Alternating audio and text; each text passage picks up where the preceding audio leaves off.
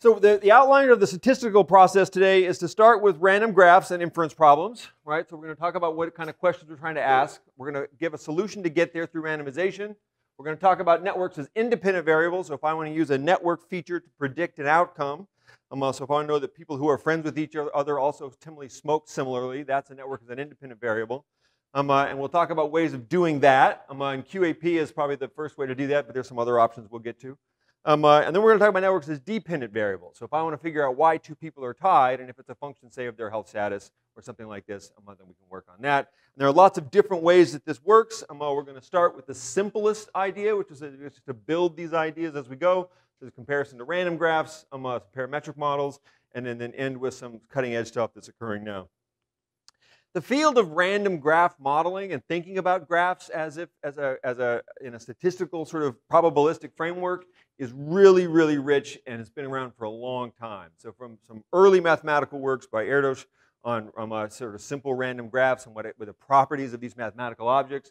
From that, you get a whole series of distributions of ways of thinking about networks, um, uh, including what we're going to call in the sociological tradition sort of as this stream through here, which is the, um, uh, the P1 or the P2 model, and all this crazy what those are, P stars and ERGMs.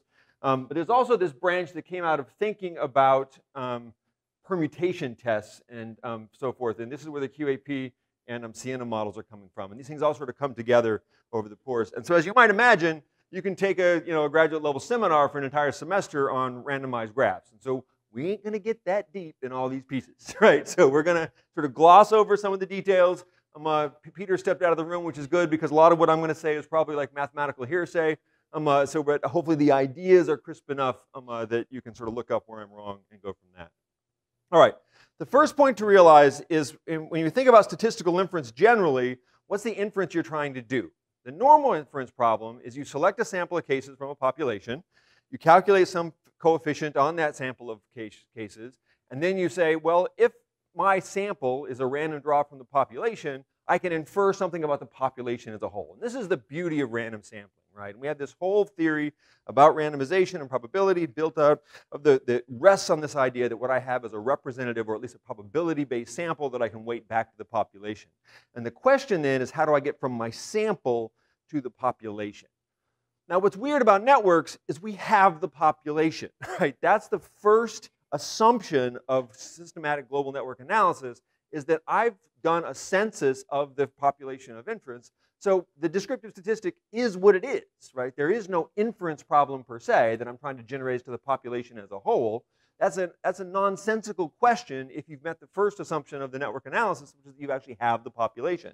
So if I've enumerated every kid in a school, and I ask them who's most popular, and I figure out who that is, right? And I build a popularity or a hierarchy in the graph. That graph is what it is, right? And so there is no other population that I might generalize to. So you could just walk away and go home and say, I'm done. I don't, I can produce all your papers without p-values or standard errors and like watch your reviewers' heads explode um, uh, and you wouldn't get um, uh, tenure and all the rest of this. So we want to think about this a little bit more substantively. And I think, in fact, most of the time when we ask a, an inference problem, what we're really asking isn't, is this true in the population per se? We're actually asking, is this more, like, is this real? Is the effects we're finding more than we might expect by chance or some other kind of like randomized feature. And that's the kind of inference that we do on networks. So on networks, what we're asking is we observe some feature in the graph. In these really complicated mathematical high dimensional structures, we might find, for example, that there's a correlation between popularity and wealth. We would like to know if that correlation is just due to random chance, right? So what we want to do is we want to compare our observed network to a random network. And the random network we're going to compare to in this case, right, is, is really where all the, all the work comes in. It's trying to figure out what that randomness really should be. Because it, as, um, it's a, it ends up being a much more complicated problem than you might expect. All right? Well, maybe you guys might expect it. Now, the one way to think about this, um, there are actually two ways of thinking about this. Um, uh, and this is in the, in the math world, you can think about a graph of size n with an edge value probability p, or you can think of a set of all graphs of size n with m edges. These are slightly different mathematical objects. For our standpoint, they're about the same. That is that you can imagine thinking about the network you've observed as one draw from the population of all networks of the same size of the network that you've observed. get your head around that for a minute, right? So, so oh, what Molly showed us on, uh, was it just yesterday? Tuesday. Um, uh, what Molly showed us on, on Tuesday was the triad census, right? So remember a triad census is the set of all possible patterns on 16, um, uh, of the 16, you get these 16 triads, that's the set of all possible patterns on a three node graph on a directed sort of network, right? So there are 16 ways that I can arrange three nodes if I allow them to have directed ties between each other. Turns out there's something like 100 million ways when you get to um, get different patterns of 10 nodes in a network, right? But what we're doing, if we pull out a three-node network, we say, oh, that's a 300 triad in the MAN map, map modeling standpoint. That's one draw from the set of 16 possible networks that could be there. And what you want to think about is that I've sampled a school of 600 kids. Where does this school fit in the distribution of all net possible networks that have 600 nodes and say something like you know 30,000 edges? So that kind of a, of a question is the inference problem you want to think about. And it turns out that you can't enumerate the population of graphs unless it's more, you know, when it, when it, unless it's a very small number of graphs. And so what that means then is we need some way to sample from the space of graphs even though we don't have the population frame to draw from. And the way we do that is with a construction procedure generally. If the work that we're doing, right, in terms of building our graph is systematic enough, we can ensure that the process of generating that graph is going to give us a valid draw from the distribution of all graphs in the world. I'm going to ask you to trust me that that sentence is true. I'm also going to let you to know that, that, that getting that piece right, that is constructing the graph that it's actually random and, and matches the graph we want to in a real way, is really hard to do very well. And it's really easy to screw it up. And so you got to think carefully about how you do this construction process in a way that you get a valid comparison. So for example, it's really easy to build a random network that oversamples, say, closed triads in the network. And, that, and then you're going to compare a network that, uh, that you think is the random null to the network that's real, and you'll make a wrong inference about whether or not your network is different from what we'd assume at chance. Right? So this is why we're going to through these process of describing what they are. Questions, comments, thoughts thus far? Where we're going? This is a lot at 9 in the morning, and I get it. Like jumping in at both feet. It's, if we're going to start high today and sort of work our way down as we go. All right. So what's nice about Erdos random graphs, so an Erdos random graph is you imagine an n by n adjacency matrix. Each cell in that adjacency matrix has a probability p, and I flip a coin, right? I go through, if it's a 0.25 probability, one out of four times that edge will be one, right? Three out of four times that edge will be zero. And you just do that. If you do that uh, process, we know a lot about that mathematically, right? We know, for example, that if you do that and you generate a random graph, or it's a Bernoulli random graph, you'll end up with a Poisson distribution of the degree. Right? That's a mathematical result that's out in the world. We know it's true, and we can compare these things. Right? And so it's nice because the actual construction process is fairly straightforward. It's literally each cell of that adjacency matrix is independent. We just flip a coin. And the only question is whether or not we weight that coin. Those networks have really nice features to them, right? So it turns out that if you have a relatively, if you have a completely random graph, we know there's things about the macro structure of the graph that has to emerge. So for example, you always get what's known as a giant component if you're above a certain um, a degree. If you have, if each person has more than two, just a little bit more than two um, uh, ties on average, you will always get a giant connected component. If you have less than that, you won't get it. In fact, this is what this curve looks like. If you, or sorry, so it's an average degree of one if each person has, if they're the density is 2. So if you end up with an average degree of 1, just over 1, right, you'll see that there's disconnected, disconnected, disconnected, disconnected, disconnected, and pow, right, you get connectivity.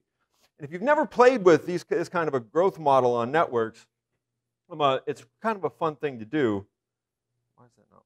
Come on back for me. Um, so this is, come on, man. All right, let's load it back up again.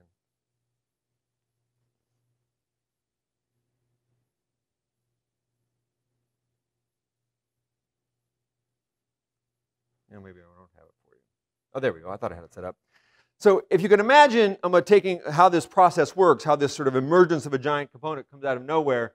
Imagine I have, in this case, I don't know, a few hundred. What did I just set this up as? I set this one up as having um, number of nodes. That's 80 nodes. Let's give it, I don't know, a network of about 200 nodes right? So I got a bunch of people in the network. And then I'm going to randomly just assign an edge in this network, right? So I'm going to go once. So there I've assigned an edge between those people and those people, right? So if I'm going to do this for 100, this is going to get kind of um, annoying. So I'll just tell it to go. Notice down here, you see the size of the connected component as it grows. And what happens when you randomly add edges to the network is you get lots of little isolated dyads at first. But when those dyads connect across, you get a component that starts to connect, right? So this starts to grow a little bit, right? I'm going to speed this up just a hair, just because I'm getting tired of watching it. It goes and it goes. And again, it just peters along here because there's lots of empty, isolated people to connect to, and so you don't get a whole lot of connectivity. But pretty soon you're going to exhaust this set of isolated folks, and you're going to have isolated dyads left. And so every time you create an edge, you're going to get at least three people. And then you're going to connect those to four people and eight people and 12 people. And before you know it, the entire network ends up getting connected. And this is what happens in the random Bernoulli process. If you're flipping the, network, the, the coins over and over and over again, you get these phase transitions and a rapid rise to connectivity um, uh, with very little effort. So what we want to be able to do is think about what it is about the process of the network that might generate these kind of macro features. And in this case, this is the simplest possible random process. It's literally a coin flip, and everybody and every cell in the adjacency matrix, adjacency matrix has the same probability. Why is that even open?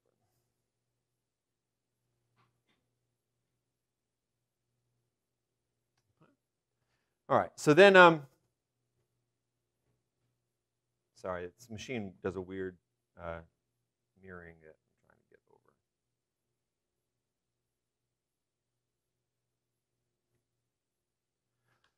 All right, so um, the, the, simple random is, of course, the poor model for real life. And this is, this is why, though it's a really nice mathematical model, it doesn't match most things about the world, right? So the idea is that we, instead of having a simple random model, we want to have a conditional random model. So we want to have an adjacency matrix that essentially we slice and sort in various ways, and so that each cell of the finest slicing and sorting is a simple random graph, and combined all together, you get something that's more comparable to the real world.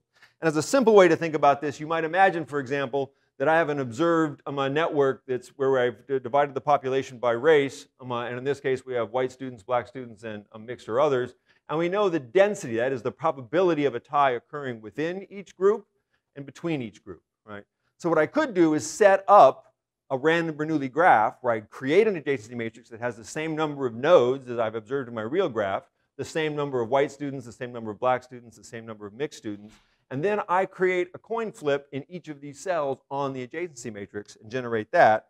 And if I do that, I get another graph, right? So this is a network that matches, right, on the mixing. So this is what's called a mixing matrix, is what this thing is. And I've generated a random graph that matches on the mixing matrix but it doesn't end up matching on the degree distribution, right? So the, uh, the random network ends up with this degree distribution. The observed network has this degree distribution. And so it fits in one part of the network, right? So now I've matched on racial mixing in this setting, but I haven't matched on degree. And so that's probably a problem, and I need to go in and fix that. But that's the logic of what we're going to do as this day goes on. Now you can think about other things that I might uh, sort of fix on this, so I can actually fix on degree, and I'm going to give you more of these slides as we go on. But in an observed school network, for example, if I do those little trace plots I showed you yesterday, sort of going through the network, start with one person, see how many they can reach, see how many they can reach, see how many they can reach, that trace plot looks like this if everybody in the network has, it has a degree 2. If they have a degree 3, degree 4, this is what a random network would look like with that degree distribution on, a, um, uh, on a, in this case, a fixed degree. And you can compare that to an actual observed network, right? So if I ran, so if I take the, uh, the average degree in a network and I generate that, right? The random network looks like this. I reach lots of people. By the time I get to four steps, I reach everyone in the population. In the observed network, if I, do a, if I look at the distribution of all those traces, on average, by the time I get four steps, I only reach about 50% of the population. I have to go out to six degrees of separation before I reach 90% of the population. Why do you suppose that is? What would make it harder to reach lots of other people in the network if I just sort of trace out through the network in a real world network that you wouldn't see in a purely random network? Any ideas? Please. So there's like little clusters in the network. Exactly. Right. So what happens is in a one step, I don't reach that many new people, or sorry, in two steps, I don't reach that many new people. because all the friends that I've reached are friends with each other. So those networks cluster back in on each other. And so this local clustering means that observed networks always have longer um, uh, trace curves than random networks. And in fact, it's a nice way to compare an observed network to a, uh, an observed network to a random network is to think about the distance between these features. And so the point is that you end up with these things called um, a small world network. So most real world networks are, have this small world structure where most people are, are friends with each other. They have these little sort of cliques that you're friends with. And there are some ties that cross across at random across this set. And there's a broad class of these networks. This is from the classic paper that um, uh, uh, Duncan Watts published, where you have, you imagine the, the number of steps it takes to reach everyone in the network, right, which is this little black dot and the number of, um, uh, the amount of clustering in the network, the likelihood that friends are friends with each other, and there's this space in the, um, uh, in the, in the world where it's, you have a much more clustering than you'd expect by chance and much shorter distance than you'd expect by chance. And that's characteristic of real social networks. That people tend to have, um, uh, be friends with each other, but you can often reach people some from far away because, um, and there's some good sociological reasons that I'm going to ignore in the interest of time. Um, so how do we think then about a random graph? So one way to think about the random graph that I've told you thus far is this simple coin flip. And a lot of software does this because it's so easy to do. So if you can imagine looking at an observed triad census, right, this is the number of triads, these 16 triads that Molly was telling about us before. If I just flip a coin, right, I would have expected to observe, instead of 39,000 of these, I would have should have seen 37,000. Instead of 12 of this one, I should have seen 0.03, right? So you can see that I see many more of these dense triads than I would expect by chance if I just flip the coin. But of course, just flipping the coin is a bad model. So instead, what I might do is I might condition on the number of mutual ties in the network, right? So if I'm in one school where kids are, have a high level of reciprocity, then I'm going to force myself down here to these more clustered triads because I'm going to have more of the mutual um, uh, triads than I would observe I trace otherwise. And so it turns out that some kinds of distributions, like the uniform distribution given the number of mutual asymmetric or null ties, that's what U bar man means, um, uh, is mathematically tractable. It's an ugly formula. It's actually like 16 different formulas, right? One for each triad. But you can actually just calculate the probability of observing this pattern in the network um, a conditional on the number of mutual ties that are observed and the number of asymmetric ties that are observed and the number of null ties that are observed. And if you think about this, this is because the triad distribution is really just a count of the number of all null ties, all single asymmetric ties, all mutual ties, right? And so once I know that count, and I know the state space of the networks, which is then choose three for the triad distribution, I can just map them onto each other. And it's a lot of like, you know, got to cross your T's and, and, and cancel out some things, but it's not, it's not intellectually a complex problem. And it is tractable. Right. And so then you can ask yourself, do I observe more transitive triads? A friend of a friend is a friend, right? Do, I, I, do kids tend to avo avoid things like these really intransitive sets where A is a close friend with B, B is a close friend with C, but A and C dislike each other? And you can compare that then, given the distribution, to what you observe in a real school network compared to random, right? And what you find is that real world networks tend to have much more clustered um, uh, triads. You, observe many more of those than you would expect by chance and you observe fewer of these kind of, um, uh, where did it, where did it go? I lost it now. Yeah, this guy, right? So you have few, this close friends that disagree, you always observe that much less than you would expect by chance. And this is the kind of thing that you can do. And in fact, Eugene Johnsen has a really wonderful um, set of papers that let you um, describe an actual macro structure of the network that comes out of triads. You can compare the observed distribution of triads in your network to, the, to these, these pre-proposed models, sort of a classic bureaucratic hierarchy versus a cluster hierarchy and so forth. And you can ask, do I observe more of one type than the other? And in the PROSPER data, we tend to find um, this is the most the, the, the, model that fits the best is a hierarchical is a set of hierarchical cliques that are separated by into, into multiple different tracks. It, these are kids, right? And this these are using the, the junior high and younger sort of levels. And so these two cliques are probably boys and girls, right? And so this fits really well in the, for the younger kids. For the high school kids, once, once kids realize that boys are not and girls are not yucky to each other, you get a unified hierarchy that looks like this. Right? So this is the kind of thing you can do descriptively to compare a simple distribution to, some, to a model. The problem is, once you get past something like the U-man distribution, sort of dyad features, or some very simple features like mixing on, a, on an observed dyad, it's really hard to compare your network simultaneously with the others. So let's imagine for a minute that I'd like to have not just the number of mutual asymmetric and, and null ties that I condition on, but I'd also like to condition on the, on the degree distribution. Some people in my network have many more ties than other degrees in the network. There is no tractable closed form formula for building that random null. So that's why we got to move to simulation. And this is what this, this idea has been around for at least 50 years, but we've only recently had the computational power to do it. All right, so what I want to walk through is a way in which we can construct some of these graphs to make this possible. And a common way to do it is something called a zipper method. And the idea is that imagine I have person, I have the degree distribution. People can have one tie, two ties, three ties. So one person has two ties, two people have two ties, and one person have three ties. So that means my network has a total of five people in it, right? So I have A through D or A, B, C, D, E. Why do I have F?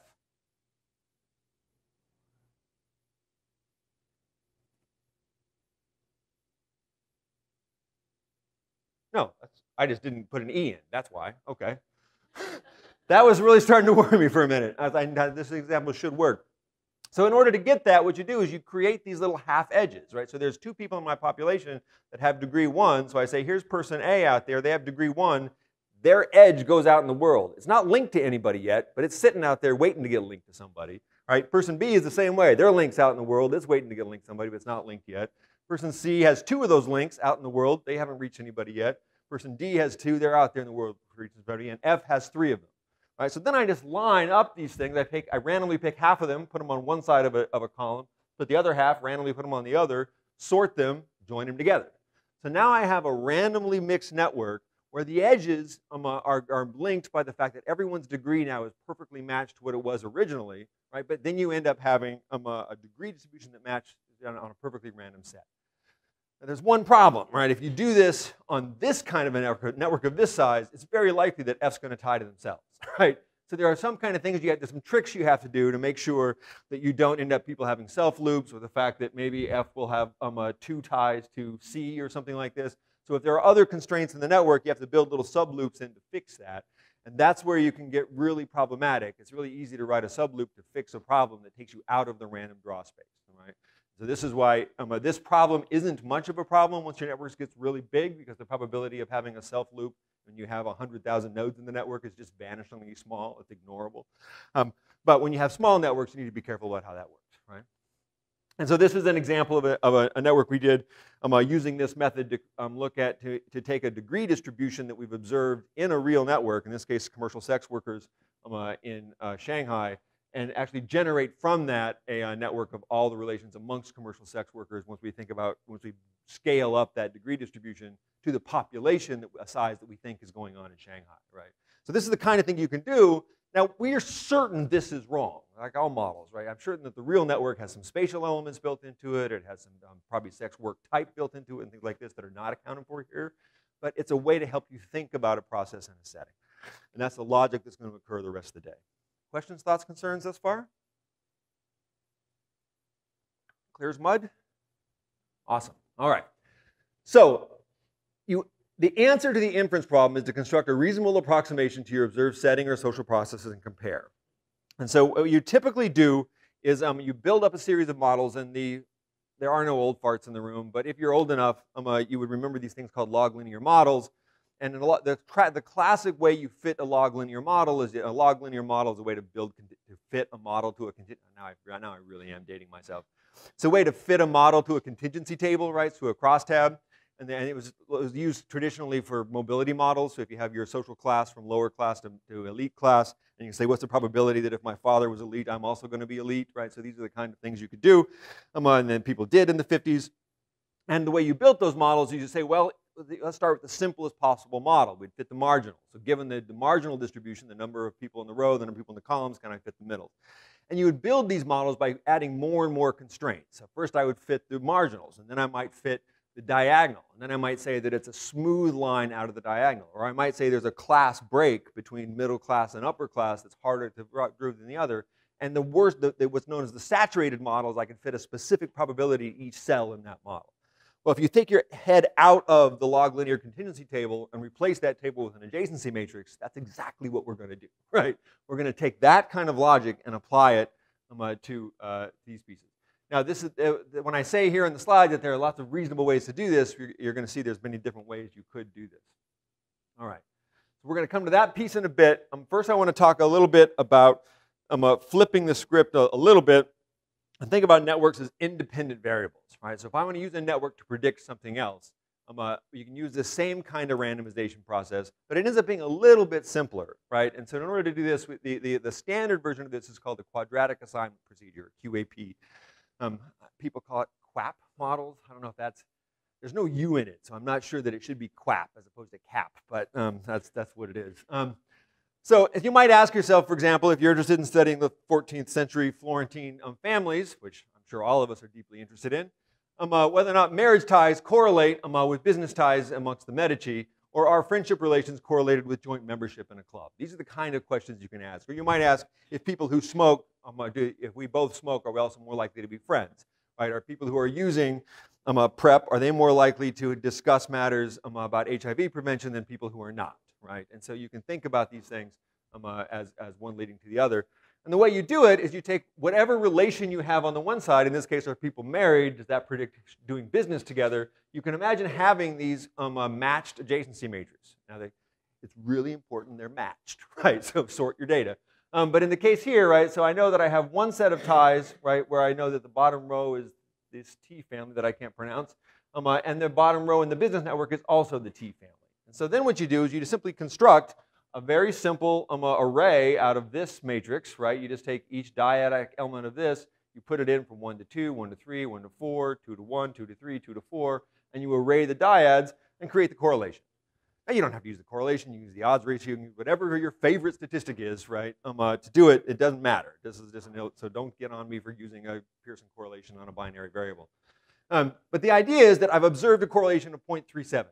Is that big? Maybe, right? We can have some rules of thumb. We can talk about it.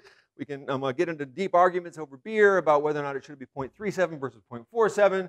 Or we can say, let's compare it to something that's reasonable and see if, it's, if it really is big. And so the common way to do this is called a permutation test. And so you would take one of those matrices and you would randomly sort the rows and columns in the same way, hold the other one constant, and now compare the observed network to the um, uh, a randomly sorted network. In this case, you know there can be no social effect, right? So now what you're doing is saying, but there might be marginal effects because there's a the degree is different and so forth. So there's there's reason to think that it might not necessarily be a zero correlation or a zero odds ratio. Um, and we can do this, right? We can do this, you know, lots and lots of times. So you have your original matrix, you sort it. Um, uh, so it used to be A, B, C, D. Now it's A, D, B, C, right? And you do this over and over again and you sort of you calculate the observed correlation for k iterations. You do this random sorting. You recalculate the correlation. You store the outcome. You compare the observed correlation to the other one, and this is what you might get, right? So in this case, I do that. I get a distribution of correlations on the set, and I discover that my observed correlation, 0.37, is way out here on the tail, right? And so uh, this is a case where I would say 0.37 is a pretty big number, right? Compared to a reasonable random null, which is the permuted adjacency matrix. And the reason I say it's a, re a, reasonable random null is that all the marginals are the same, the dyad features are the same, like lots of the features are retained when you keep the, uh, when you do the permutation, so all the degree things and so forth are the same. The only thing you've done is break the association between um, uh, the correlate between business and marriage in this case. All right. And there are lots of um, pieces that do this. So UCINet does it nice. There's a program in R that um, uh, uh, we'll show you this afternoon that does it. This is an old slide, but um, uh, you can do it for whatever you want. And what's nice about this way of thinking is that it provides you a first past the post kind of way of exploring the data. It's computationally pretty efficient, um, and it's a way to get you a sense of what's there. Um, uh, and it's um, uh, and you can do it for really any kind of modeling strategy, right? So correlation is easy, but you could do it for regression coefficients. You could do it for um, uh, multi-level models if you were patient enough to do this kind of thing, right? So there are ways of doing it. Turns out we don't have to do it all the time, but you can. So for example, I might want to, I'm going to take um, whether or not people are um, the same race or the same sex, compare that to whether or not they're friends or not. I can, um, uh, might have some dependent variable, which is say how often they, um, you know, bet on horses. I don't know, I made that up. I guess if I were, um, maybe this is their libido, um, right? And so we can see how different their libido is, just to go off of um, Brea Perry's example. and so if this is, so if y is your dependent variable, why did I do that? Right, so y is your dependent variable. I can convert any vector dependent variable into a difference. And so now I can say whether or not our features on this network predict our similarity or our difference um, on this outcome. Right? So are two people um, who are friends more likely to vote, vote the same way or to have the same opinion on some scale? That's the kind of question this answers. And it turns out, again, you can use QAP regression to do this. Um, uh, US, UCINet has a bunch of nice tools for doing that. Um, uh, it's in fact um, uh, really um, uh, does a nice job and does it quickly. Um, but you get something that looks like this. Do I have it? There we go. Right, where you get a model R square, and in this case you can't see this, I'm sorry, at the back, but we find out that you know being friends, right, means you have a lot, it's a negative coefficient there, it's just two pixel, pixels. I need to zoom this in somehow. But so it's a negative effect on um, uh, the uh, on this distance in y. The p-value is 0.00. This is a permutation p-value. This is the proportion of times that the coefficient was as big as you observed in your network or as small as, your net, as you observed in your network. So essentially, how, how many cases are outside on the tail that you know, that permutation test, and you get a, a standard error out of this. So it's a really nice way to get a clean association measure, and this is all just associations at this point, it's all observational, um, uh, and you can do it for being the same um, race, the same sex, um, uh, being um, uh, adjacent to each other, and so forth. Right? So this is, is a very nice way if you have any kind of, of um, uh, sort of dyadic feature to compare that to a similarity on an outcome. Make sense how this works? We're going to do another way to do it. The problem with this, of course, is that, that there's um, the QAP as a, random, as a randomized set ends up being a pretty simple test, right? It's, it's pretty easy to pass a QAP test, kind of like Peter said yesterday, if you can't pass this test, go home, um, because we know that the social world isn't certainly random, right? And so there are better versions of QAP. So you can do a nested QAP. I could say that I'm going to hold constant the association by um, race and only do the mixture within race, right? So only permute with the, the rows and columns within race or something like this. And so there are ways to, to, to make this more sophisticated. But again, the whole idea of a permutation test is because I can't write down that formula. I can't write down that, that, that conditional feature of the random graph. I need some way to compare it to, and what we do is a computation approach. And permutations are nice because it actually gives us the actual inference we care about, which is that if I have a social process, compare it to a random process, are they the same? And if we do it, and there's, and there's lots of ways you can construct the random process, but that's the idea. Questions, thoughts? Seem sensible? Again, you can do QAP in, um, uh, uh, in R, at least simple QAP. If you really want to do some of the, um, uh, uh, if, if, you're doing basic network stuff, um, this is one of the times I'm not a, I'm not, a, I'm not hating on UCINet, it's that I don't typically use it that often. But the one time that it really is good is for doing QAP kind of models, because they've invested a lot of time in getting the software right so the sorting happens correctly and they have logits, they have um, uh, probits, they have um, uh, OLS regressions. There are lots of different ways of doing basic models um, uh, that allow you then to do these things quickly. Whereas you can write that little um, piece that I told you about before, that little, that little formula, um, uh, but most of us, if you do that, say, with a regression, you're going to be there all day. Please, go ahead. Uh, just, just to make sure that I'm on the right page yeah. here. Um, so you're able to basically model the distributions based on certain network features, but when it becomes um, when you try to factor in degree is what you kind of go over to this. Exactly. So if you, if you, the, the beauty of the QAP is that if your question is about the association between two things, the beauty of the randomization is it holds most of the features of the network constant. So, my, so you always have a person with high degree, they're just moving around on what they do. Exactly, right.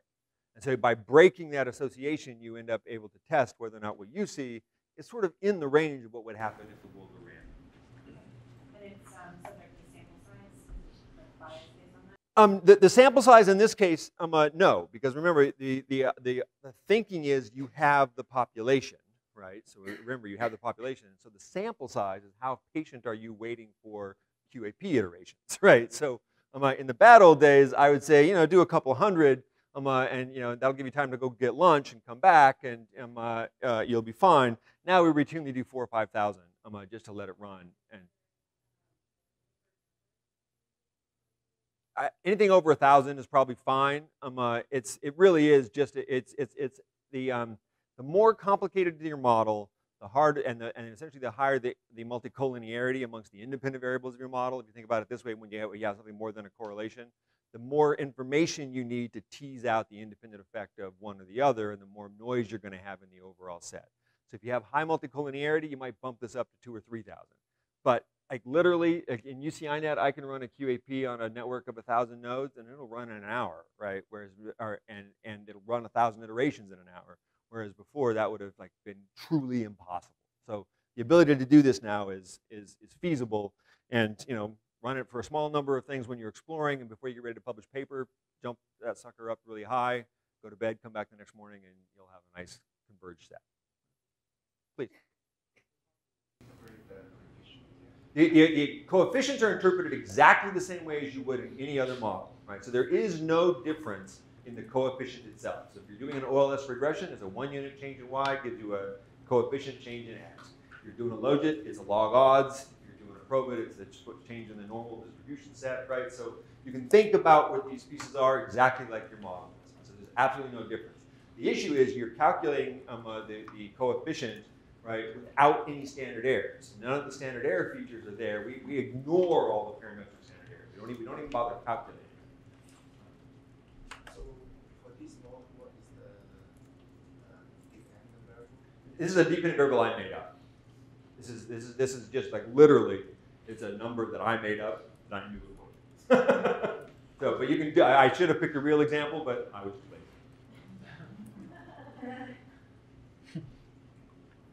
which, is, which says something like when you get to the point where it's easier to like program a Monte Carlo um, uh, for a made-up example as opposed to like go and get the data. Probably speaks deeply to my inherent nerdness, but um, there we go. All right, so now I'm going to shift back. Now that we have this idea of permutation in our head and this modeling, I'm going to shift back to a, a way of thinking about um, uh, modeling a network as a dependent variable. Okay? Um, uh, so the way we model a network as a dependent variable is, is to go onto this, um, uh, what we're going to do is we're going to mix these two ideas. We're going to start with this log linear notion I gave you before, and then we're going to add to it a, um, uh, something like a permutation test. In this case, it's called an MCMC chain. That is where we sort of simulate things lots and lots of times in order to get um, uh, the underlying answer. But we're going to get to that part way later. We're going to start first with just the conceptual idea of what we're doing. So let's imagine, right, in a world, right, in a world where you have a network um, uh, of just a dozen people that I can fit on a screen. Um, uh, you might get a network that looks something like this, right? And in the real world network, right, in the real population, like this adjacency matrix has three values. It has irrelevant, right, along the diagonal, so these are NA, um, or just not part of the sample set, and you're either on in red or you're off in blue, right? So it's an observed binary network, it's adjacent for one or the other, and what we would like to do now is think about what predicts having a tie between two people versus something that doesn't have a tie between two people.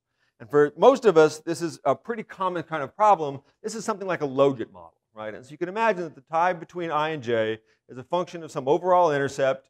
Um, in this case, it's the j coefficient, so this is a, a, a receiver uh, effect. But then you might have some a, a, sender effect, a receiver effect, a dyadic effect, and maybe something else that's really specific to um, a, a subset of nodes or something. And so that, but that's the logic we're going to go to. And if you sort of step aside for a minute and don't get all hung up on standard errors, because we're going to fix those with the permutation set, then this is really, it really is just sort of a logit problem. So we're going to build this model um, in the simplest way. So let's start by thinking that we have an intercept-only model, right? So an intercept-only model says that yij is just a function of the intercept, right? And so in that case, if you think about what the model's predicting, the model's predicting a same thing for every possible cell. Right? Sometimes it hits, right, here in the bold ones, sometimes it misses.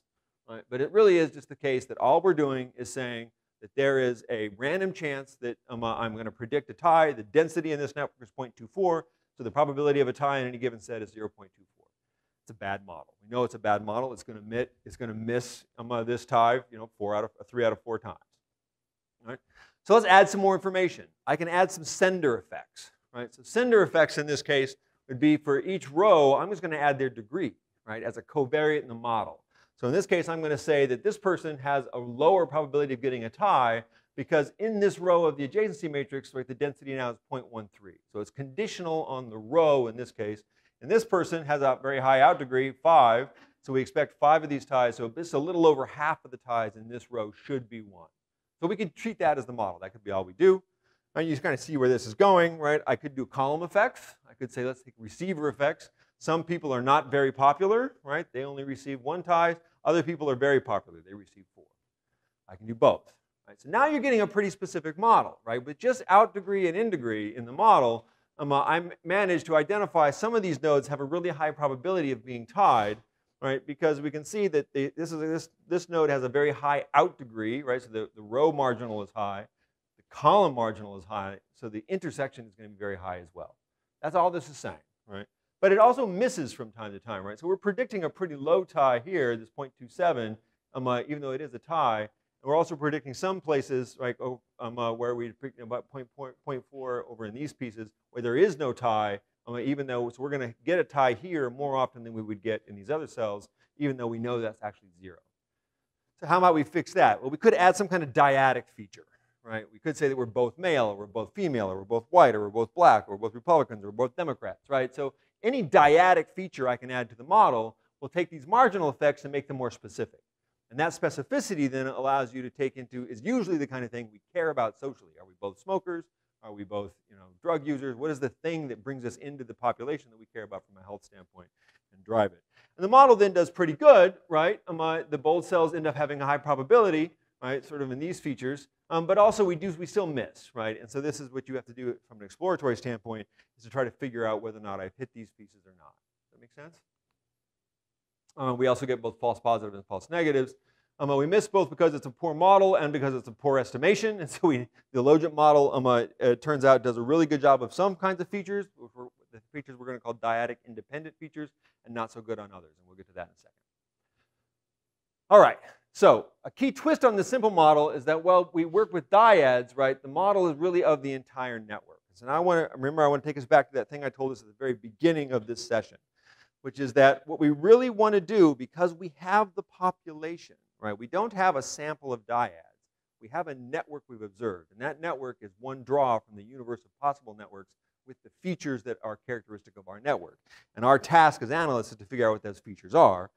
In this case, then, we want to ask whether the graph um, in question is an element of the graph of all possible ones, and so we can do that um, uh, uh, with, we can substitute that by using this logit model. And so what we're doing, I should have made this bridge better.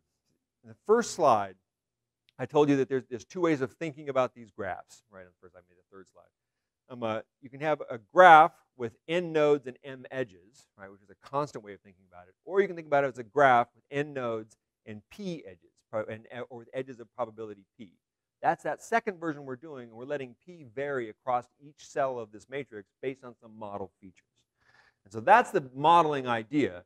And what's nice about this is that we can end up um, building a model, right, um, uh, for, uh, for all kinds of graphs based on these types of, uh, uh of networks. And um, the first version of this is one that Holland and Leinhardt came out with, I think in the late 60s, 67 or 68, um, uh, where they, they call it the P1 model. And in this case, you have an intercept for each person, for each sender. You have a coefficient for each receiver, and you have a coefficient for each dyad or, or you have a, a value for each dyad and one coefficient here. So in this case, on a network that is, has n by n times n minus 1 dyads, you're going to have 2n plus 1 coefficients. Right? That's not a very efficient model, right? So you're going to be estimating, you know, if you have 100 nodes in your network, for this model, you're going to be estimating 201 coefficients, right? Now that's okay because you have 900 dyads, so you haven't completely exhausted your degrees of freedom, but it's still a pretty cumbersome model. But the, even though it's a cumbersome model, there are some things that are kind of fun about it. Um, so once you have this modeling framework, you can ask yourself, right, um, what the attractiveness parameters are, which is the, the receiver effects, or the um, expansiveness parameters.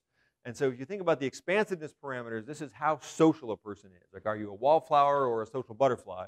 Um, uh, the the um, uh, attractiveness parameter is how often do people come at you? Are you really popular or are you not so popular? And this is a reciprocity parameter for Holland and uh. And if you run this model and UCINet or some other places, what's nice is you get a coefficient for each person, right? And they have some omitted ones because these people have um, uh, were unestimable because they were they're, they're, they're zeros. Um, uh, but we get this coefficient, and you can compare the expansiveness from the model to the um, out degree. So some people, from a modeling standpoint, it looks like they should be really socially active, but their degree is actually low. And that's because most of the out ties that they have are, are, um, based on reciprocity, right? And so the, by controlling for reciprocity, we can disentangle how popular I am from how expansive I am, which is kind of fun, right? So I can find people who the model says should be really popular, but don't get lots of ties, right? That's the sense in which that their social world is being driven by this reciprocity effect overall. And if it weren't for reciprocity, right, the fact, the fact is it's just they don't have enough, they, they, all of their ties have been soaked up by the reciprocity features. They don't have more that they could give out. So it's a very nice modeling effect, and it's one way that often, and a lot of this is taken up from the, uh, uh, it's a nice way of identifying, especially on the expansiveness side, um, things where your, the capping of your um, instrument might create differences. But again, this is a very simple model, super, super simple. But it, the beauty of simple models is that you can make them more complex, right? And so you can always add things to them. And so I might decide, for example, that I have the basic uh, model here where I have a single reciprocity parameter. Let's say that the reciprocity varies by groups. So males and females have different levels of reciprocity. So I can have one parameter of reciprocity within groups, another parameter of reciprocity between groups. Right? I might say that there is a, um, a node attribute that I'm going to add to this model. Right? So I could add, I don't know why that's the same. Oh yeah, I just added it there, right? So it might be that I'm adding like something uh, about whether you're, you're um, rich or poor or something, right? Um, the key is to ensure the specification doesn't imply a linear dependency of terms, right? So it is possible. Um, the one thing you have to be a little careful with here is that um, like the mean out degree, it has to be equal to the mean in degree because it's just a crosstab. So you have to, so you lose a degree of freedom every time you do this, and if you add reciprocity, you've lost another degree of freedom. Um, so there are some combinations of parameters that I can add that will lead to linear dependencies that you might not expect. So you just have to be aware of that when you're building the model. If you run this um, uh, in some places, and you have, for say, if you were to run this and Add Health, and Add Health, for example, on the entire um, set of Wave One schools, you would discover that like over half the schools would fall out because those people were limited to out degree one and right? And so like they just, there's no degree of freedom there. The model couldn't be estimated for those schools. All right. The other thing about these models, it's not so bad for most of these kinds of parameters, but once I start adding in um, but reciprocity and certainly transitivity and other kinds of social closure features, the um, standard errors in these cases are approximate, which is a nice way to say they're usually pretty bad. so you got to think a little carefully about what those things and so the solution to this problem is something called exponential random graph models, or at least historically, this has been the solution that we've, we've, we've moved on to, which is can we get out of this, this, this approximation of the standard errors to get something that's a little more accurate? And we can do that um, by specifying a model um, uh, that has this kind of form, which is that we've observed some network X, and we ask what's the probability that X is a member of the class of all graphs of category X, um, uh, where x is defined as um, a, series of parameters on, a, on um, uh, some score in the network. So this is a parameter that defines the network. This is a score on the network. And we can define all, all networks, say, if, if this score is just the number of nodes, then this would be the, a parameter that describes the probability of observing this graph, right, as a function of the graph of all nodes of this size. And this is the idea here. Now the beauty is that z could be usually something more interesting than size, right? It could be reciprocity, it could be racial mixing, it could be the, the likelihood people smoke. All and and that, so we so we're going to spend a lot of time thinking about what this particular feature is, um, and then if we normalize it by something that adds up over the class of all possible graphs, then we get a real probability. Sounds great, right? So I know there are 16 possible um, uh, three-node networks. Um, I can enumerate them all. If I have um, a graph of 100 um, uh, nodes, then I know that there are in choose three um, uh, triads in the network, and I can assign them various pieces, and I know exactly what this normalizing constant should be. The problem is, once you get beyond triads and dyads and so forth, the normalizing constant just goes away. It's like literally impossible to calculate the normalizing constant. And this is why these, this literature sort of sat vapid um, uh, for about probably 30 years between the time when the, when the Paulin and Leinhardt put these papers out to start and when um, uh, uh, the exponential graph, random graph format and the P-star models came out um, uh, with Wasserman and Faust in the, um, uh, in the 90s. And the solution is really kind of clever. And I'm not going to go into the real details of this, but I want to give you just a taste of what the solution is, because it's one of these things that you know mathematics statistical types do, um, uh, where you go, you know, crimey, that was a good idea, right? And so what they did is you can imagine thinking about this problem. Now, you don't actually do this, but you can think about this problem as if um, I, what I want to do is predict the probability for a tie between i and j holding constant everything else in the graph. So I'm going to condition the probability of a tie between me and Dana as a function of everything else in this room. I'm going to hold it exactly constant. All right, so in order to do that, I'm going to say, well, is the tie between me and Dana a function of our age? Well, if it is, then I might say, let's imagine that I take the graph as it is and I change, I force the tie to be there between us, right? Um, uh, and then I take the same graph, holding everything else in the network constant, except for that single dyad, and I force it to be negative, right? So I force it to be off. Then I recalculate z, right, as a function of the tie between us is true, and the tie between us is false. And that's going to change very slightly, right, the homophily principle on the homophily coefficient on age. If z is a homophily measure of some sort, right? So I'm going to do this over and over and over and over again for each dyad independently, holding constant everything else. And the nice thing about that is, is that once you do that feature, um, after a bunch of algebra, um, you can end up getting the probability that this coefficient, conditional on the complement, on holding everything else constant, right, is there relative to everyone else. You can get this log odds without that kappa feature, right? And so by subtracting the present ties from the absent ties, you've essentially subtracted away the normalizing constant because the normalizing constant is going to be here in both of these features. Right? So this is what's clever about it. And if you think about what this is doing, what it's saying is now I have the potential to estimate the probability of a tie between two nodes right, without having to calculate the normalizing constant, which has been the um, uh, sort of you know, defining problem all along. And instead, I can do it merely as a function of these difference scores. Right? Now, it turns out the difference scores can be kind of a pain in the ass to calculate, um, uh, but sometimes they're um, uh, pretty intuitive. And so you can imagine, for example, that the difference, if, if, if I want to go for the simplest possible model, right, it would be that z is just density. It's just whether or not there's a tie there in the graph or not. And so if I force the tie to be present, what's the, what's the value, what, what happens to the value of the number of edges in the graph? Right? If, I, I'm at, if my z statistic is the number of edges in the graph, and I force a dyad to be present, what's z now equal to? Whatever it was plus 1. Right? So now if I force it to be absent, what is it? Whatever it is minus 1, right? And so what's 1 minus 0? 1, right? And that's going to be true for every dyad in the model, right? So what does this, what does this actual statistic look like? Well, it looks like a vector of 1s. What's a vector of 1s in your logit model? It's the intercept, right? And so it turns out that a lot of these things that are in the graph, right, a lot of these features that we're going to calculate have very intuitive interpretations and they make a lot of sense. We go through some machinations in how we describe the way we calculated them in order to, to make sure that we're sort of honest with what this feature is. But at the end of the day, we end up estimating something that looks very familiar to us, right? Like having an intercept in our logit model. Right? So the, um, uh, the basic problem, the process then for fitting an exponential random graph model is that you first have to specify the model, and we're going to talk about that as uh, how to do that in a minute. You fit the model. Um, uh, the um, problem with these models are that, um, uh, and I'm going to describe what this means in a second, but there are two classes of parameters. There's dyad-independent parameters and there's non-dyad-independent parameters. Dyad-independent parameters we can fit with this basic logit. Non-independent parameters, um, the standard errors are just completely useless. And so for that reason, we use these things called MC-MC change, which is a way of, of, sampling through the space of all possible graphs, and you do this over and over and over again as, a, as an underlying simulation sort of feature in order to calculate effectively the variance of this fit. We examine the goodness of fit. If poor, um, uh, you, know, you return to one and try again. If it's great, publish your paper and go home. Get tenure, um, uh, make lots of money, be famous.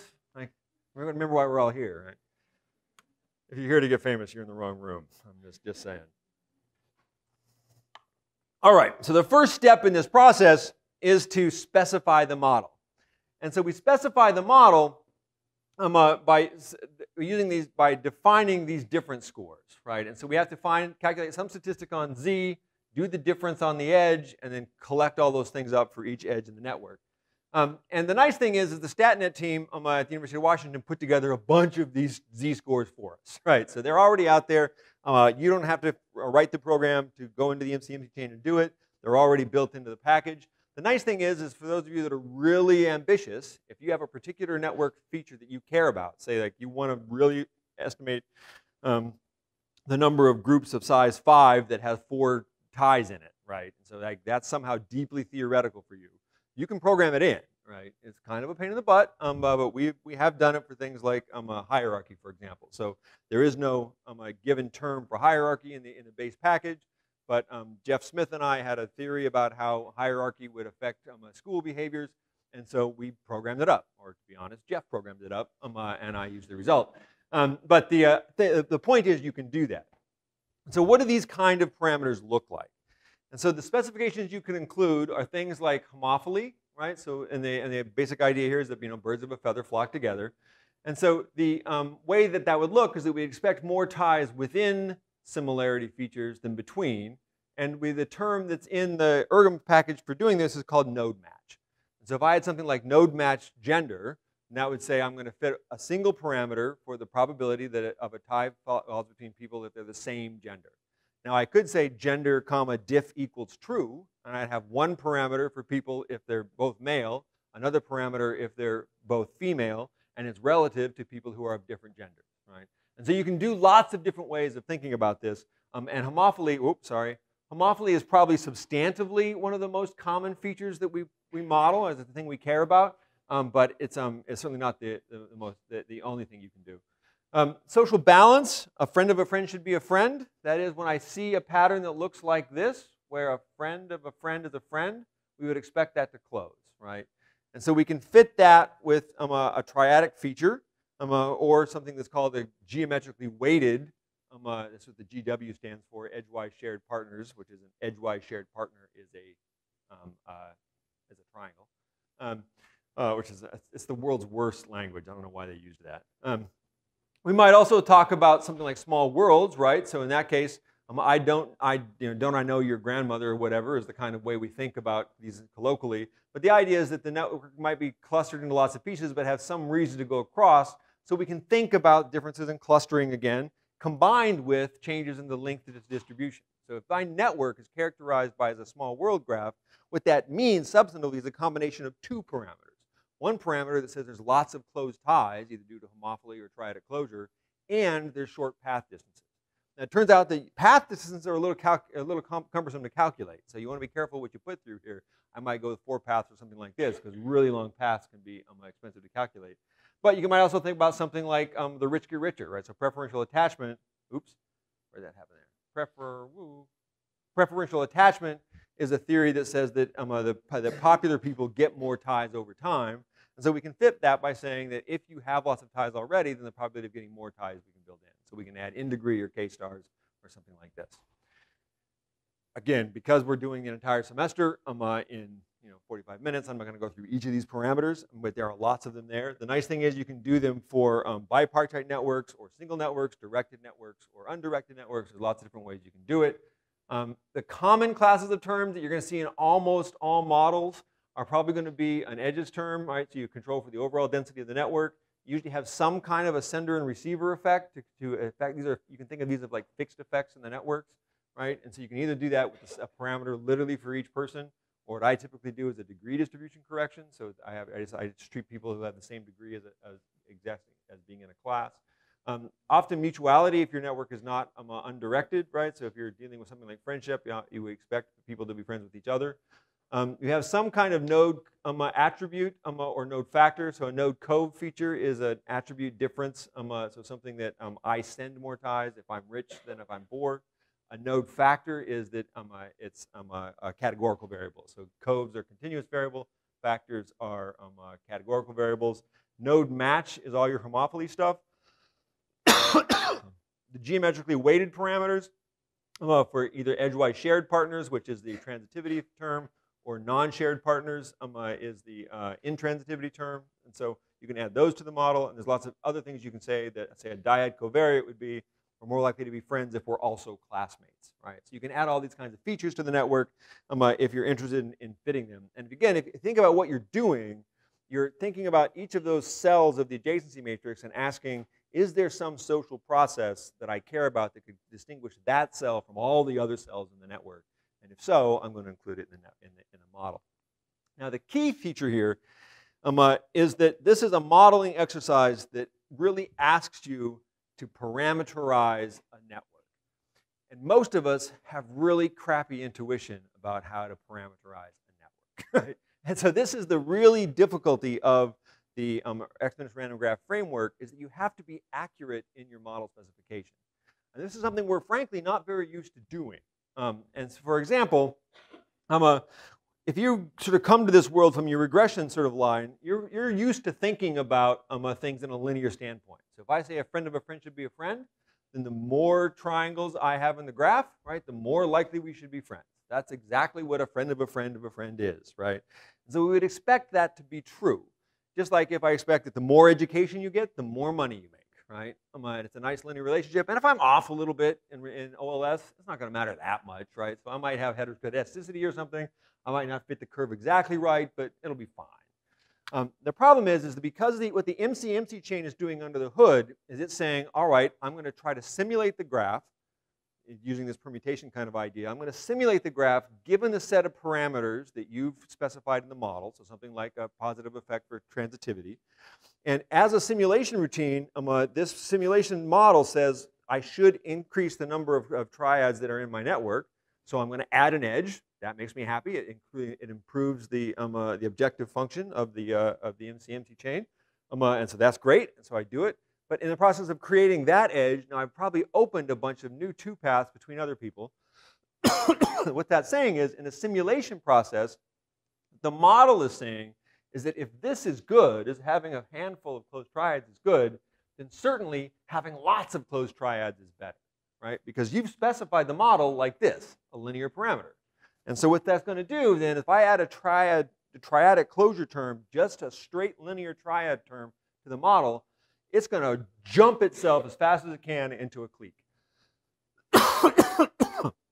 and in fact, what it's going to do is it's going to give you, because you're drawing a sample of networks from a population and a distribution, and if um, my uh, transitive term is 0.3, right, if I, if I expect to find 30% of my um, uh, triads to be closed in the real world, what it's going to do is it's going to generate 100 networks, 30 of which are completely closed, and 60 of which are completely empty, right? And so it'll match on the mean, right? That's what the MC-MC chain is doing over a thousand iterations, or sorry, a thousand draws of this chain, um, or, or, tens of thousands in many cases. Um, uh, and so it'll look from the model coefficient like it's right, right? You've hit the right spot, but no single predicted network that comes out of the posterior distribution will ever be right. right? This is known as the degeneracy problem. And it was we discovered it um, uh, in you know, the late 90s, early 2000s, um, and before was a real pain in the butt. Now we won't let you estimate this model, frankly. If you type this model into the StatNet package and say, do this, they'll say, that's a bad model. we can't do that. Um, and it'll kick it out. And instead, what you have to do, is you have to think about what the actual social process is. And so the way the social, the, the way you might think about this is that there are diminishing marginal returns to closed um, triads because none of us have infinite energy, right? So as because I only have so much social engagement I can engage with people with, really ugly sentence. I only have so much time um, uh, with which I can engage people, right? I'm going to spend a lot of time with my close friends, and then, you know, the fifth or sixth or seventh or eighth person, right, I might not be worried about them quite as much. And so this idea that, that a friend of a friend is a friend is too simple of a colloquialism, right? It is that my best friends are friends with each other, right? But acquaintances not so much. And so you have these geometrically weighted or diminishing marginal returns kind of ideas. And that's true for most of these kinds of complicated structural features. The good news is it doesn't matter so much for homophily or reciprocity because these things really only depend on the two people. And so when we say that some features are dyadic independent, what that means is that whatever that z statistic is, it's only a function of two nodes in the network. And the beauty of that being a function of only the two nodes in the network, it's always going to be conditional on whatever else is going on in the network is irrelevant. And so you don't get these kinds of um, uh, rapid unfoldings. Um, but if you have triads, if you have two paths, if you have other kinds of sequences that where uh, a, a, tie between two people is some function of a tie among some other third or fourth or fifth person in the network, then those features are non-dyadic independent, and you can really get these kinds of chaining features. So you need to think very carefully about how you specify the network. Does that make sense? Clear? Awesome. So the way these models look, once you throw them into R and kick them out, is they look like a regression model. And this is why our old school intuition about how to estimate them kicks right in. Right? So in this case, I have a model. I'm going to say Framingham High School. Um, uh, that's not Framingham. It's faux Magnolia High. I'm thinking of the Christopherson Fowler. So the faux Magnolia High School is the network they're dealing with here. Ergm is the, um, uh, the routine.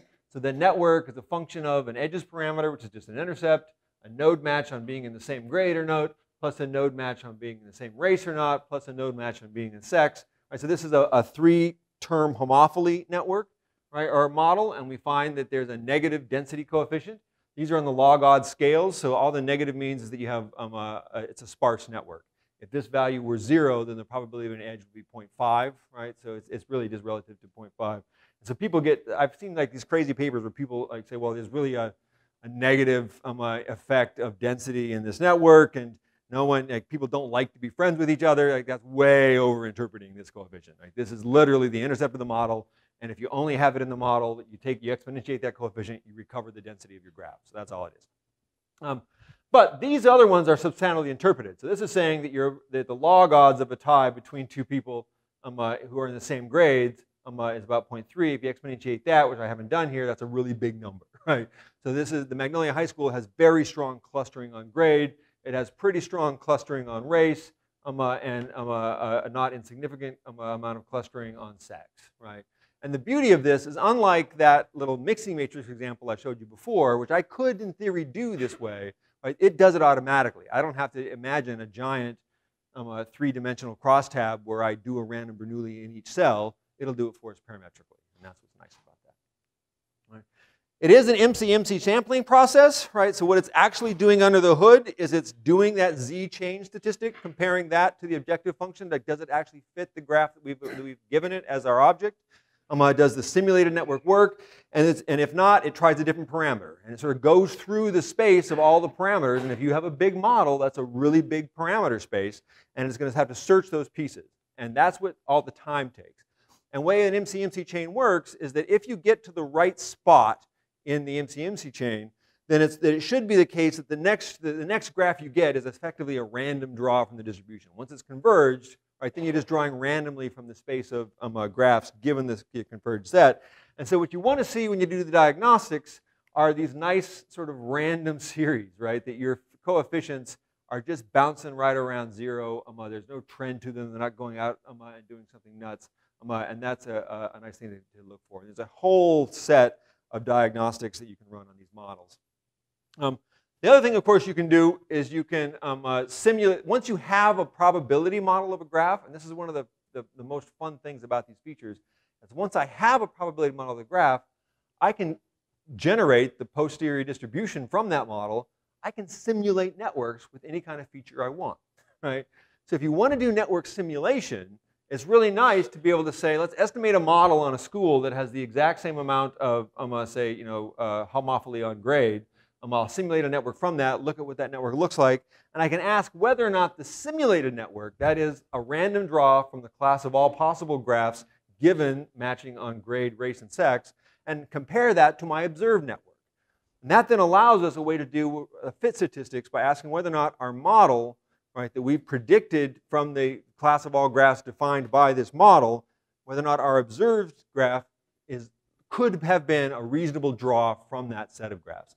And it will always match the parameters you put in the model. So you usually compare it to, param to parameters you didn't put in the model. And so in this case, we didn't put the degree distribution in the model. If you just simulate a bunch of networks a thousand times from that, from that model, you get a, an observed degree distribution that looks like these um, coefficient, like these box plots. And we see that the observed distribution is here. Right? So this is the observed degree distribution. And it's within the 95% credible rounds in this case um, but it's not the same shape, right? So it's probably not a particularly good fit. In this case, the number of triangles we observed, the number of edgewise shared partners, right? The, the, net, the model predicts almost none of these. So the, the, most of the mass is on zero. Um, in fact, we observe a fair number of them. So, so this model that's only based on homophily probably doesn't fit very well. This is telling us we might need to add a degree parameter. We might need to add a reciprocity parameter. We might need to add a closed triad parameter of some sort.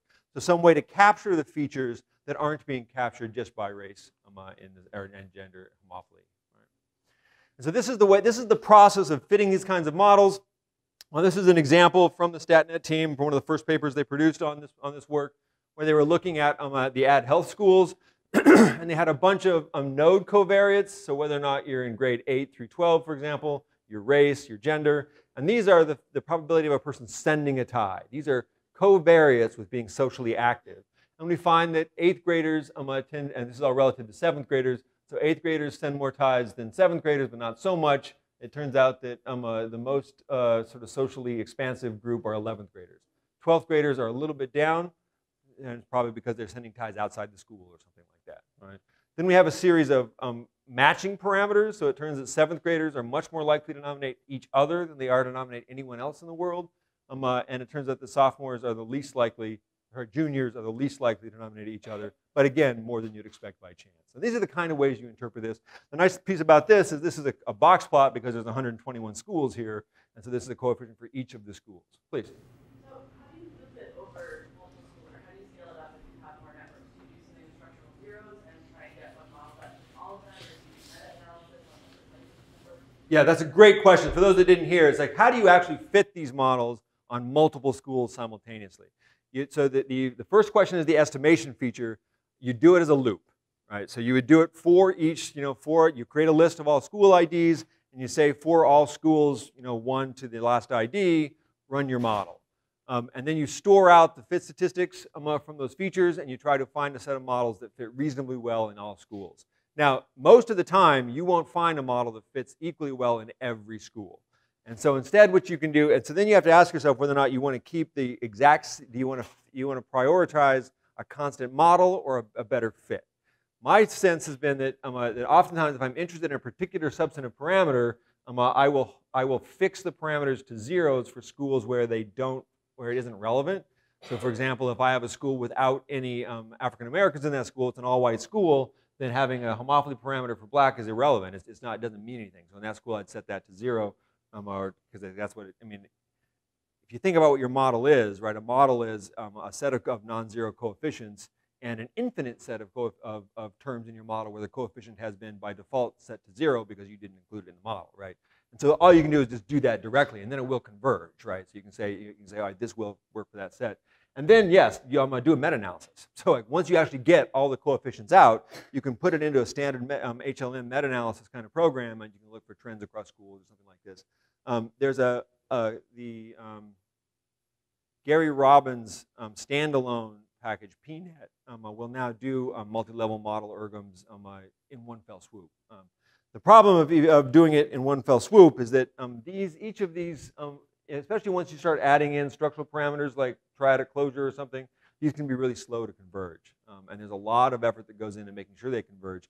and so that, so if you're going to do that and try to estimate them all simultaneously and then pull out the covariance structure and do it that way. It's all simultaneously and then go back and reestimate the pieces. It can be a real slog to get through.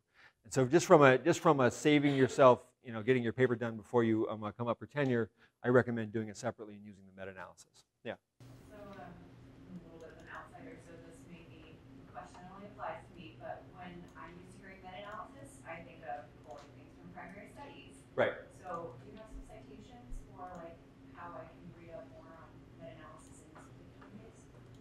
Paper that myself, um, uh, Dan McFarland, and Jeff Smith did did exactly this. so I recommend um, uh, starting there. Um, uh, but, the, but your intuition is exactly right. So, but, but, instead of going to the literature and pulling out the coefficient standard errors from the table, you just generate the tables yourself for each school, right? You generate the coefficient standard errors um, uh, and pieces and use them.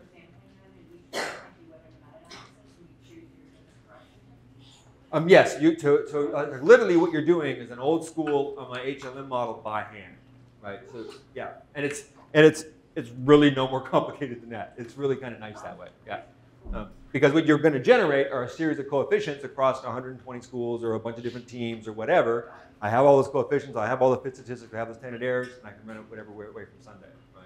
And so I have a level two feature like school administration. I can then use that to predict the coefficients at level one. Now, hopefully you do something smart when you do this, right? So if you're using the Add Health schools, right, for example, um, uh, it's the case that we really shouldn't treat each of these schools as independent because the junior high is paired with the high school. So we might want to have corrections at the level two, the fact that we're in the same community. So they're clustering things like this you might do. Um, uh, whereas if you're just pulling coefficients from uh, literature reviews, you have to assume that each study is independent. That's not necessarily the case here. And So there's covariance structure features you can add to fix that. Um, and there's and with all sort of you know big complex multi-level models, there's convergence issues. And so what we might like to have is a, a, completely unstructured covariance matrix in order to allow the data to tell us what's happening. But that's never going to converge, so you need to do something to make that work. All right. So this is a paper that um, again Dan, Jeff, and I worked on on network ecology. And our idea was to think about a really simple in-school model um, uh, where we'd imagine sort of the features that we think are common across American high schools. That is, it's the things that if you can imagine if you're writing a screenplay about um, uh, high schools, right, these are the features you're going to include, right? So there's a hierarchy structure, there's um, strong reciprocity, probably differential by gender, right? There's race segregation, gender segregation, um, uh, and uh, you know, for cool kids and not cool kids. We were particularly interested um, uh, in this hierarchy coefficient, so the ways in which um, uh, some settings select schools to be more Lord of the Flies like and others that are more sort of kumbaya like, right? So there are things that schools can do to increase the um, uh, sort of relevance of natural status hierarchy. The argument here is not too dissimilar from saying that adolescents and chimps are basically the same, and then left to their own devices, they're going to create a pecking order and beat the hell out of each other, right? Um, and so, um, uh, is that is that true? And it turns out to be the case that um, uh, we can estimate these features, and some things about the school, um, uh, very small features in the um, change in the uh, hierarchy coefficient, can have really strong differences. Um, uh, so this this combination of hierarchy and clustering can create a very rap, wildly different sets of schools. So in some schools, you're going to end up with um, uh, both, again, it's a two by two, as Greg told you, I can't help myself. Um, uh, you end up with you know, really high clustering but low hierarchy. This is sort of a collection of cliques with lots of self-loops in these types of schools. Whereas over here, where you have really low reciprocity and low clustering but very high hierarchy, this is your Lord of the Fly chimp world, right? And it turns out um, uh, that um, you know, if you, if, if you favor a world where, that is of, of sort of social equality and um, uh, lots of reciprocity and not super high status hierarchies in schools, you need to kind of crack down on students, right? So the less freedom you give them, the more organizational structure you give them, the more foci you put them in, where, you, where they're, where they're not able to self-select into their own little pieces, the more likely they are to be good human beings. Um, uh, if, you, if, left to their own to sort of just do whatever they want to do, they're going to self-segregate by all their attributes, and they're going to have um, a sort of a really strong um, uh, hierarchy and. And um, this probably shouldn't surprise us developmentally, um, uh, that, you know, that, giving structure to adolescents actually helps them um, uh, behave in ways that they might not otherwise behave. It's probably not a surprise to any parent in the room. Um, uh, but this is the, but it turns out that this is sort of a nice thing you can do about the way you socially organize. Um, so questions and comments on the ergm models. We're, we're getting close to the end on this set. More or less. All right.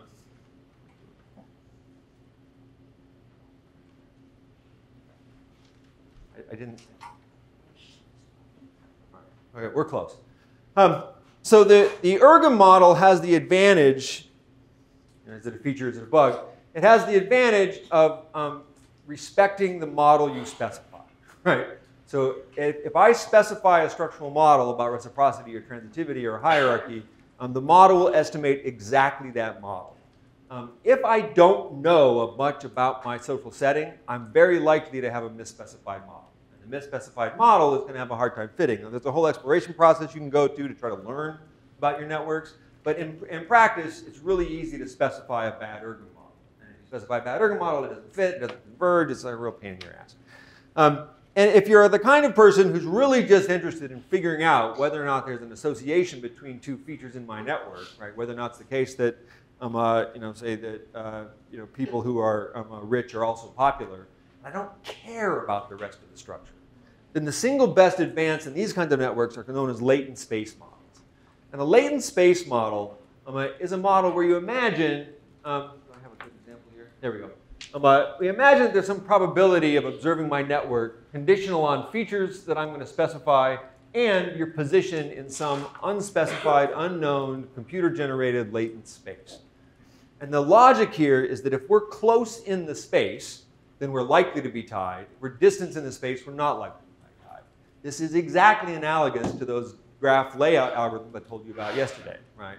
And so the thinking is, instead of trying to specify ahead of time that it's being diff really different in terms of our um, income or our education or how much we like, you know, popular music, right? Instead of as me and an analyst having to figure out what that is, I'm just going to let the computer figure it out, right? I'm going to say, let's invent a new variable, right? Call it z, and we're going to give z two dimensions, and we're going to say if you're close in those two dimensions, you're tied. And I'm just going to let the computer figure out what those dimensions are.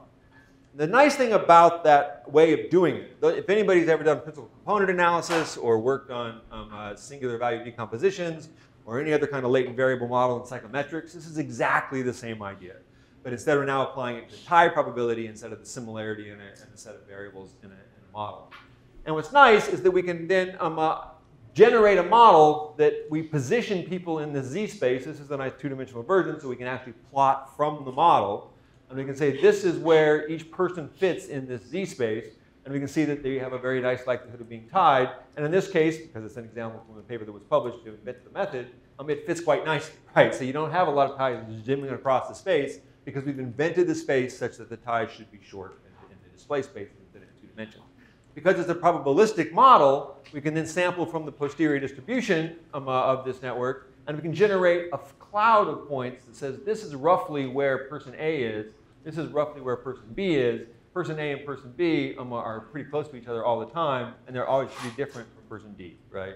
This is the way of thinking about this latent space, is that I can generate um, a, a, feature. Now, the beauty of a latent space is that it almost always fits, right? Um, and if it doesn't fit in two dimensions, I bet it fits in three. If it doesn't fit in three, I bet it fits in four, right? So you can always let you, be, if your network has anything other than pure random structure, you're going to be able to find a latent space that fits the network. The problem is it's completely unknowable what these dimensions mean, right? And so as a, I love latent space models when all I care about is correcting away the network structure, right? When I don't want to worry about model specification too much, but, I, but there is some feature, some alpha that I want, whoa,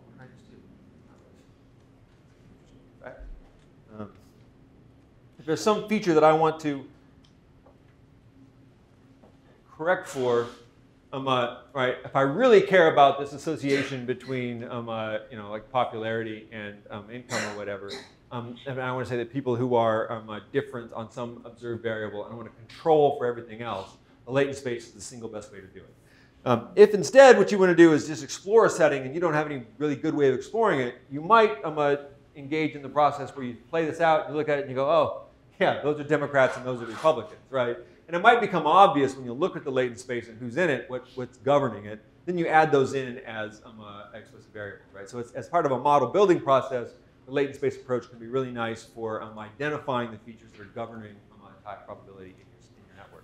But fundamentally, it becomes just like anybody else um, who's ever done a scale construction process, right? Um, uh, you, know, you take six or seven um, variables that you hope work together um, uh, and you um, name it something you're sure the reviewers will love, um, uh, and um, that's what it is. That's kind of what happened with the latent space, right? And so it, it, it's a really nice way to fit, but it's really hard to know exactly what it means. But again, sometimes that's great. It, it depends on what you want.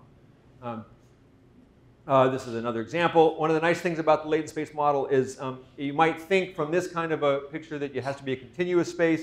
In fact, you can add groups to it, so I can have both the latent space and clustering, and so that, that creates a, a lot of um, it need not be essentially a Euclidean space. Go ahead. So it would be pretty, um, pretty much fair comparison to the call latent one, the like exploratory factor analysis, and the first one you described as confirmatory factor. Yeah, that's a perfectly reasonable analogy. Okay. Yeah, absolutely.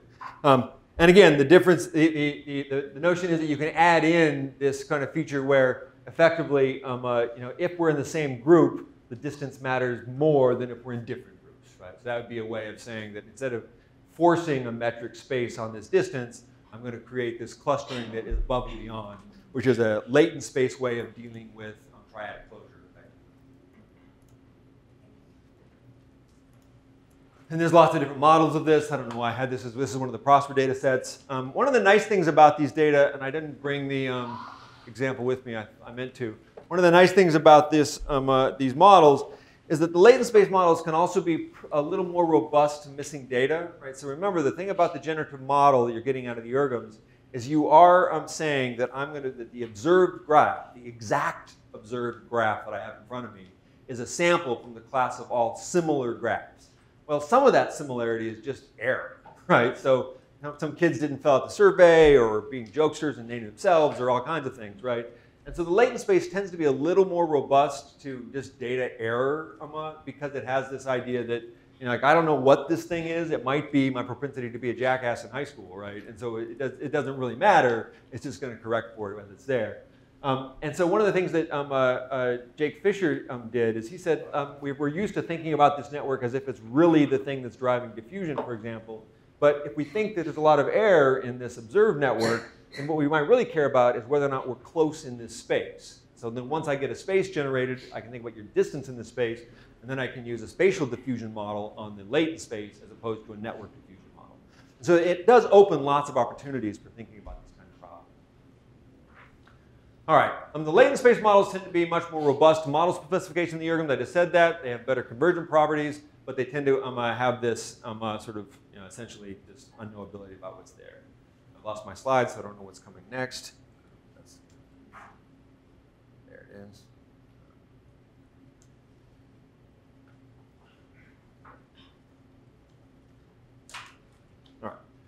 So the, the most recent addition to this panoply of models um, uh, that are out there is the Amen models, which is arguably the best name for a model um, uh, because once it's converged, this is what you're going to say. Um, uh, uh, but it's called the additive and multiplicative effects model. Um, uh, it's uh, invented by Peter Hoff and Alex Volfovsky, who are both professors in our stats department here.